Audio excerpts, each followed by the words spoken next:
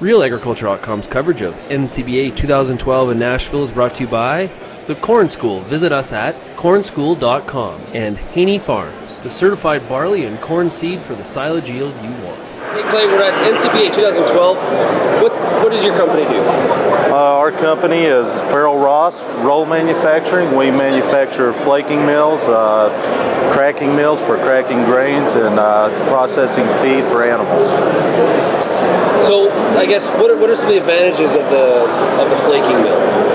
Uh, the flaking mill, uh, the flakes uh, uh over ground feed, you get more starch availability out of a steam flake uh, rather than having ground. Like the uh, this here's steam flaked corn, and you get a lot more starch out of it than you would say a, a ground feed. Of course, it costs more to process the flakes. So, what would be the cost difference to produce the flakes, roughly? You think? Uh, probably about uh, two two dollars a ton, roughly somewhere in there.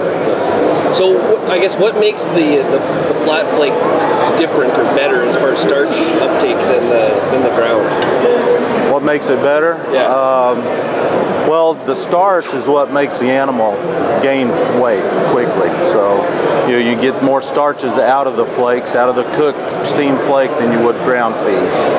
So, and it really depends on uh, what size operation you have. There's a certain point where you start flaking, like say 10,000 heads up. That's where you start looking at steam flakes over ground feed. So. Okay, so we got we got your machine here behind us, your roller. Right. So it, you could, you've got demonstrations there of corn, but you obviously can do this with barley as well, or wheat?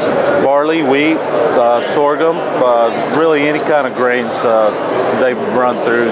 Corn is uh, probably the most uh, most used in the flaking industry. Uh, kind of depends on location. Uh, up in Canada, for instance, it's barley.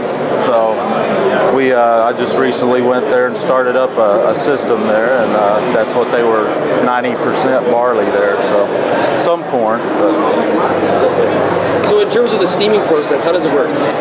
The steam uh, over here is uh, kind of a cutaway design of our steam chest. It's all stainless steel as you can see, but the, the grain goes in the top of it.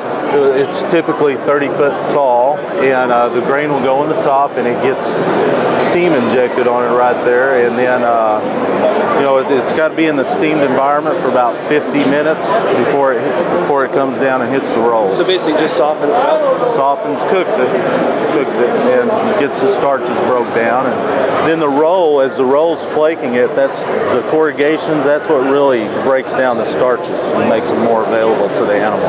So, so what's the throughput of some of your machines? Uh, we've got several different sizes. Uh, this one here, for instance, is a popular machine. It's uh, it's about a 10 ton per hour system. This one here is about 20 ton per hour. Uh, our largest machine will produce uh, 45 ton an hour. So, and uh, then we go down to one ton an hour machines too. So, lots lots of you know, different sizes for different applications. Thanks, Clay. You bet.